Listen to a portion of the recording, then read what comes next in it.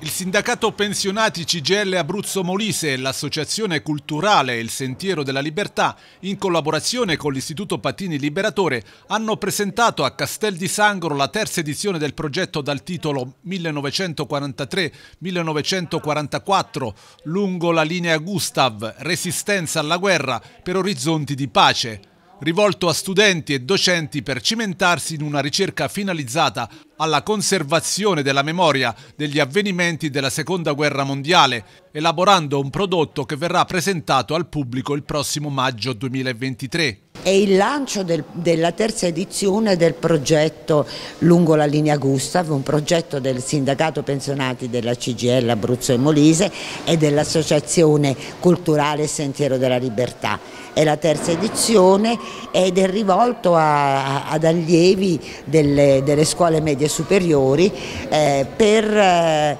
eh diciamo, per promuovere la ricerca storica ma per promuovere anche la riflessione del, degli allievi e delle allieve sul concetto di democrazia, di libertà, di pace, eh, di, di condivisione tra i popoli. Ricominciamo con lo studio del territorio e della linea Gustav, che è una linea che ha visto il nostro territorio Castel di Sangro e l'Altopiani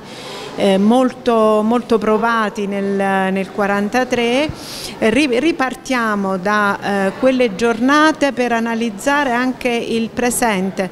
Il presente con una prospettiva di futuro perché eh, ovviamente eh, linee e muri nel mondo e in un particolare momento come questo con la guerra